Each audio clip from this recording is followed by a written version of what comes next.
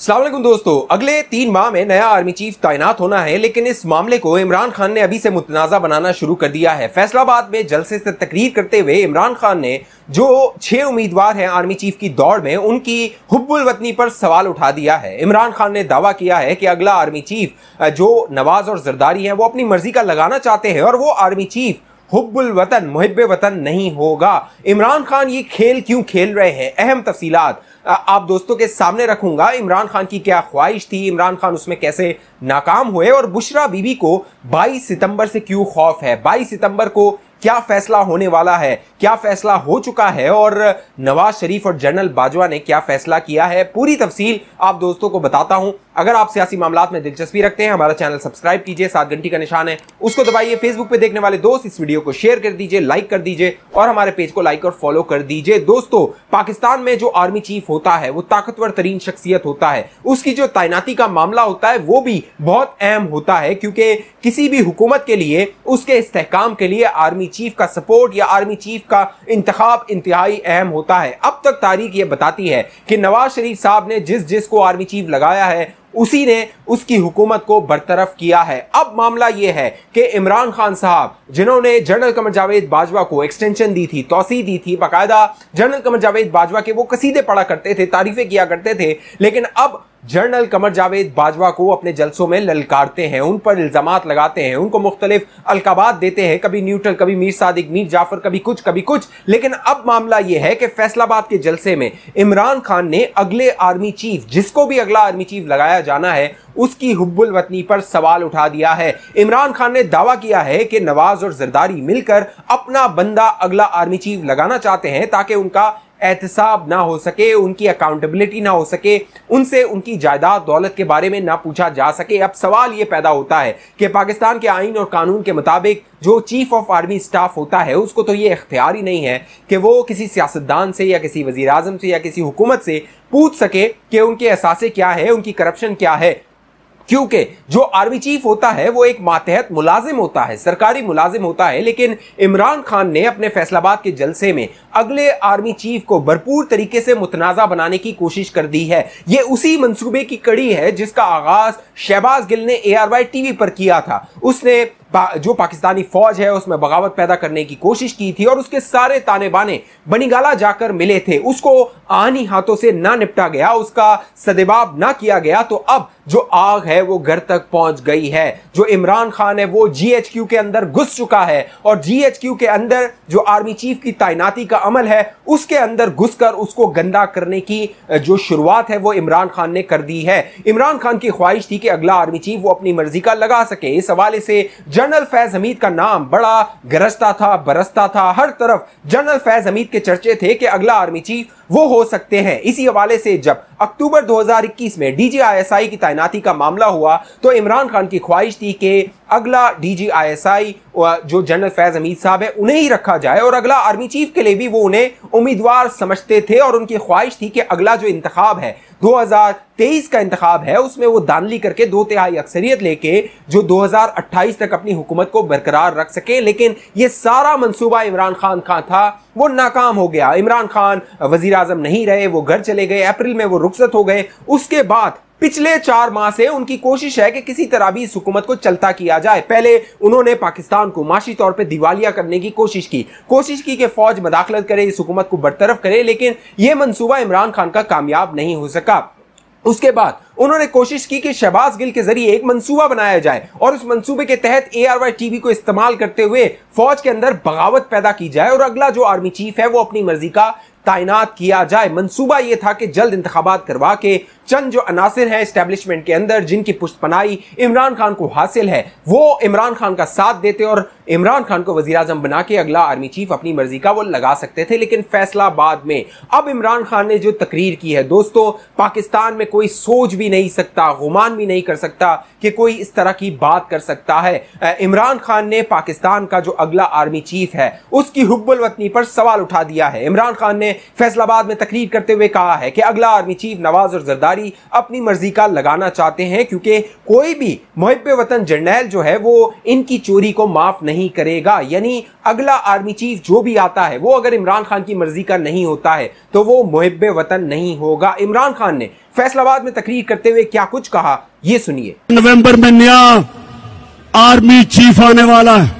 और ये दोनों जरदारी और नवाज़ शरीफ इनकी पूरी कोशिश है कि ऐसा आर्मी चीफ आए जो ये अपना को फेवरेट लेके आए। ये अपना आर्मी चीफ लाना चाहते हैं। ये डरते हैं कि यहाँ कोई तकड़ा आर्मी चीफ आ गया एक मुहब वतन आर्मी चीफ आ गया तो वो पूछेगा इनसे। इस मुल्क का आर्मी चीफ मेरिट के ऊपर होना चाहिए। जो सबसे मेरिट पे है, उसको आर्मी चीफ बनना चाहिए।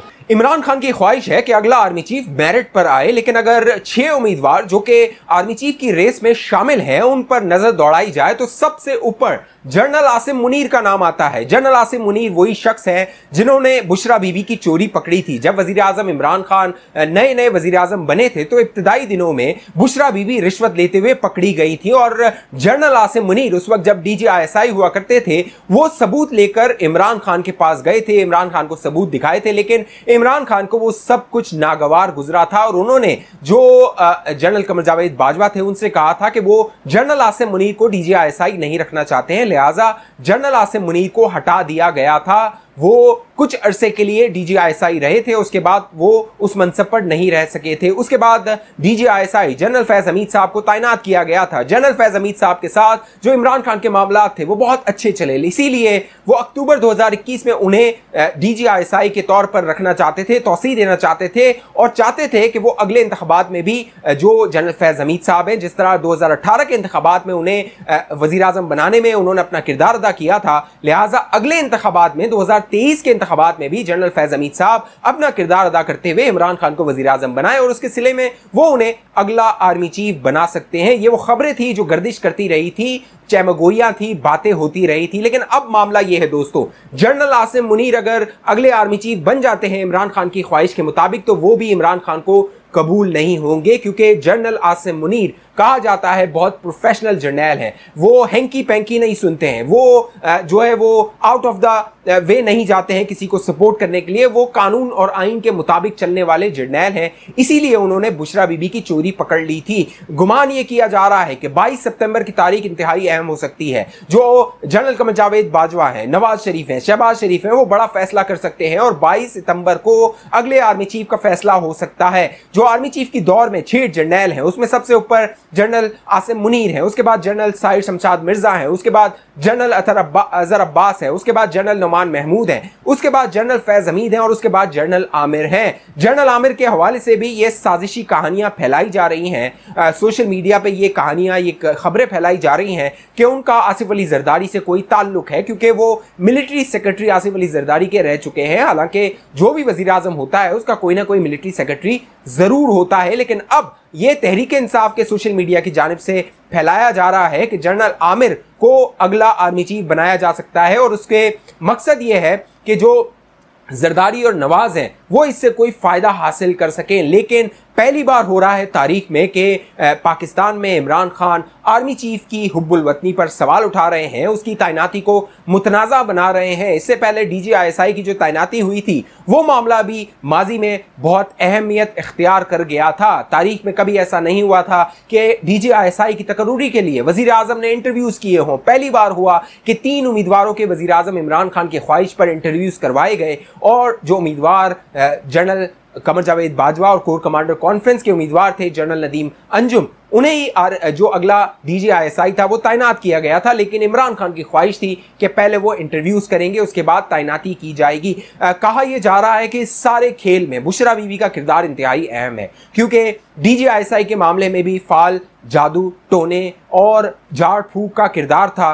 अब अगले आर्मी चीफ की तैनाती के हवाले से भी बुशरा बीबी के जादू टोने और जार फूक का किरदार सामने आ रहा है। और अगर अगला आर्मी चीफ मेरिट पर होता है, क्यों? जो कि इमरान खान की ख्वाहिश है, वो भी इमरान खान को हजम नहीं होने वाला। और अगर इमरान खान की ख्वाहिश के मुताबिक नहीं होता, वो भी इमरान खान को हजम नहीं होने वाला। लिहाजा अब जो इस्लामाबाद हाई कोर्ट ने एक, कह लीजिए कि रिलैक्सेशन दी थी, एक नरमी दी थी इमरान खान को और उनकी लाइव तकरीर पर पाबंदी हटा दी थी, अब उसका खमियाजा पूरे इदारे मुल्क कौम, फौज और अदालतें भुगत रही हैं। और अब जस्टिस अतर मिन्नल्ला भी सवाल कर रहे हैं कि हमने आपको एक सहूलत दी थी, उस सहूलत का गलत इस्तेमाल किया गया है। फौज में बगावत और फौज में एक जो नज्म ज़ब है, वो उसको निशाना बनाया गया है। उस पर सवाल उठाए गए हैं और फौज की हुब्बल वतनी पर अब, फौज की हाई कमान की हुबुलवतनी पर इमरान खान ने सवाल उठा दिए हैं। ये वो फितना है जो हर इदारे में घुस रहा है, हर इदारे में इंतज़ार फैला रहा है। और जो शहबाज गिल ने साजिश की थी वो साजिश